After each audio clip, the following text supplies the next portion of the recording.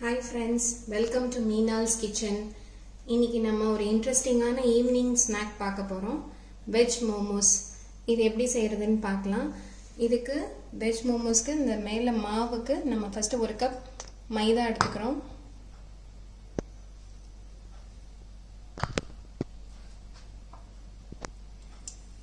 இந்த மாவுக்கு உப்பு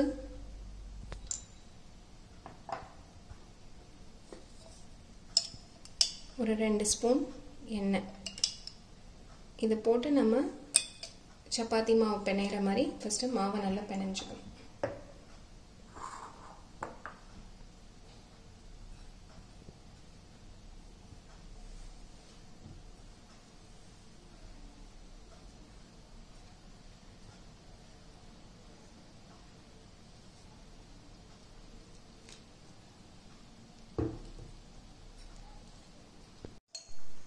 இப்போ நான் மாவை பிசைஞ்சிட்டேன். இது காயாமல் இருக்கிறதுக்கு கொஞ்சம் எண்ணெய் விட்டுட்டு நம்ம ஒரு ஈர டவலோ இல்லைன்னா ஒரு பிளாஸ்டிக் ஷீட் போட்டோ அப்படியே மூடி வச்சிடலாம். இது ஒரு ஹாஃப் அன் ஹவர் ஊறட்டும். அதுக்குள்ளே நம்ம உள்ளே வைக்கிற ஸ்டஃபிங் எப்படி பண்ணுறதுன்னு பார்க்கலாம். இந்த மோமோஸ்க்கு உள்ள ஸ்டஃபிங்க்கு நம்ம என்னென்ன போட போகிறோம்னு பார்க்கலாம். ஒரு கப்பு வந்து நல்லா கிரேட்டட் கேரட்டு முட்டைகோசையும் துரி வச்சுக்கோங்க. கேப்சிகம் வந்து நல்ல பொடியாக நறுக்கி வச்சுக்கோங்க. அதுக்கப்புறம் ஒரு கப் வெங்காயம் கொஞ்சம் இஞ்சி பூண்டு பொடியாக நறுக்குனது. அப்புறம் pepper powder soya sauce vinegar salt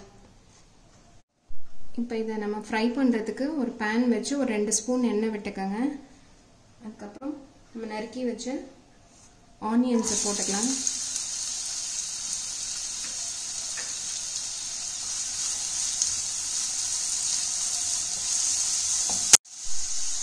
onion போட்டு ஒரு ரெண்டு மூணு செகண்டு கழித்து நம்ம இந்த நறுக்கி வச்ச பூண்டு இஞ்சி இதையும் நம்ம ஆட் பண்ணி இது கூட வதக்கிடுவோம்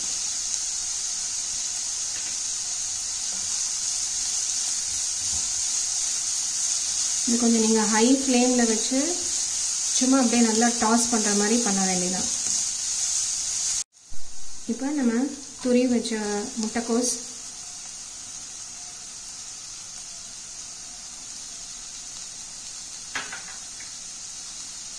கேப்சிகம்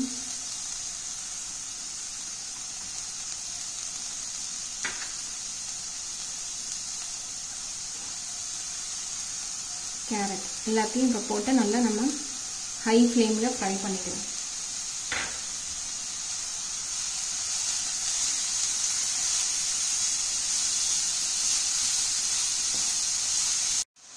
இந்த காய் ஒரு டூ த்ரீ மினிட்ஸ் நல்லா ஃப்ரை ஆனதுக்கப்புறம் கொஞ்சம் ஒரு ஸ்பூன் வந்து சோயா சாஸ்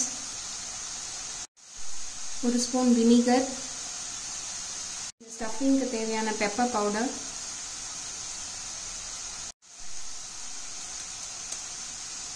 காய்க்கு சால்ட் இதை போட்டு நல்லா ஃப்ரை பண்ணணும் நம்ம.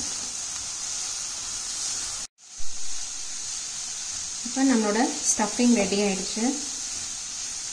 நல்லா ஹை ஃப்ளேமில் வச்சு கிண்டிட்டு அடுப்பு ஆஃப் பண்ணிடலாம். இப்போ ஹாஃப் அன் ஹவர் ஆயிடுச்சு. இப்போ இந்த மாவை நம்ம சின்ன சின்ன பால்ஸாக உருட்டி சப்பாத்தி தேய்க்கிறது மாதிரி தேய்க்கணும்.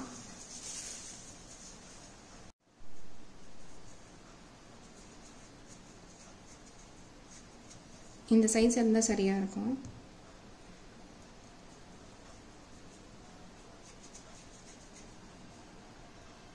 இந்த லைட்டாக மாவை ஸ்ப்ரெட் பண்ணிவிட்டு நம்ம சப்பாத்தி போடுற மாதிரி போட வேண்டியதான்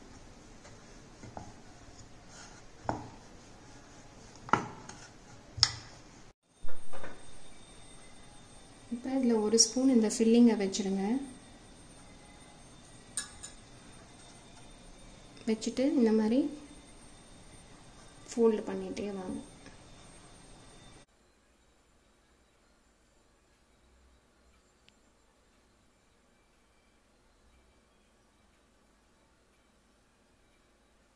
இப்போ நம்மளோட மோமோஸ் ரெடி ஆகிருக்கு இதை நம்ம ஸ்டீம் பண்ணிடலாம்.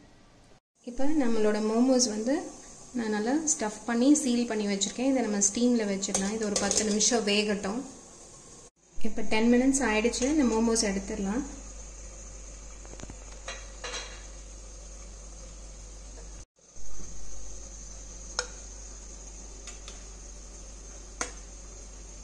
இப்போ நம்மளோட மோமோஸ் வெஜ் மோமோஸ் ரெடி ஆகிடுச்சு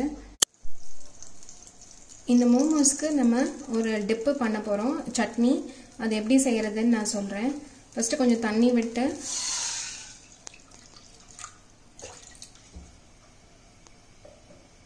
இதில் ஒரு ஏழு வரமிளகாயை நம்ம ஃபஸ்ட்டு கொஞ்சம் ஒரு டூ த்ரீ மினிட்ஸ் வேக விடணும். இந்த மிளகா வந்து இப்போ ஒரு ஃபைவ் மினிட்ஸ் நல்லா வெந்துருச்சு. இந்த தண்ணியிலே ஒரு நாலு தக்காளியை வேக போட போகிறோம் இது ஒரு அஞ்சு நிமிஷம் நல்லா பிளான்ச் ஆகட்டும் நல்லா வேகட்டும் தோல் தனியாக வர அளவுக்கு இதை கொஞ்சம் தண்ணி ஆட் பண்ணிக்கலாம். இப்போ இது கூட நான் கொஞ்சம் தண்ணி இந்த தக்காளி வேகிறதுக்காக கொஞ்சம் தண்ணி ஊற்றிட்டு ஒரு மூடியை போட்டு மூடி வச்சிடலாம். இது ஒரு அஞ்சு நிமிஷம் வேகட்டும். இப்போ இது ஒரு அஞ்சு நிமிஷம் ஆயிடுச்சு. தக்காளி பாருங்கள் இந்த மாதிரி தோல் தனியாக வந்துருச்சுன்னா வெந்துருச்சு. இந்த அளவு வெந்தால் போகிறோம் நமக்கு. இப்போ இதை எடுத்து நம்ம அந்த தக்காளி ஆற வச்சிருவோம். இந்த மோமோஸ் சட்னிக்கு நம்ம வேக வச்ச தக்காளியை கொஞ்சமாக எண்ணெய் விட்டு எண்ணெய் காஞ்சதும் நம்ம அந்த தக்காளியை வதக்க போகிறோம் இப்படி நம்ம தக்காளி தோலெல்லாம் உரிச்சிட்டு சும்மா ரெண்டு ரெண்டாக ஸ்லிப் பண்ணிவிட்டு நம்ம இதில் வதக்கலாம். இப்போ எண்ணெய் காஞ்சிருச்சு நம்ம இந்த தக்காளியை போடலாம்ல போட்டோன்னே ரெண்டு பெரிய பல் பூண்டு ஒரு ஹாஃப் இன்ச் இஞ்சி இந்த வேக வச்ச சிகப்பு மிளகாயும் இதில் போட்டு நம்ம வதக்கணும் இதை நம்ம ஒரு ரெண்டு நிமிஷம் நல்லா வதக்கினா போதும்.